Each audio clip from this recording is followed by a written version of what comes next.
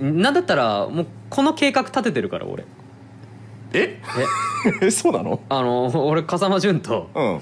あの近々熱海あたりに別荘をお互い一緒に買って余生を過ごそうぜって。あーでも前もなんかそんな話してたねなんか。したした。熱海あたりに行ってガンプラ作ってみたいな そうそれはやった、やったけどまあうーんそのまあサードステージには早いけど、うん。まあフィフスステージぐらいになった時にはああなるほどね。うんそういうふうに回ったりした時間を過ごして、うん。であいつは釣りが好きだからじゃあ船も買ってうん俺は船舶免許を取ってもう優雅なあれ俺たちずっと独身？これ。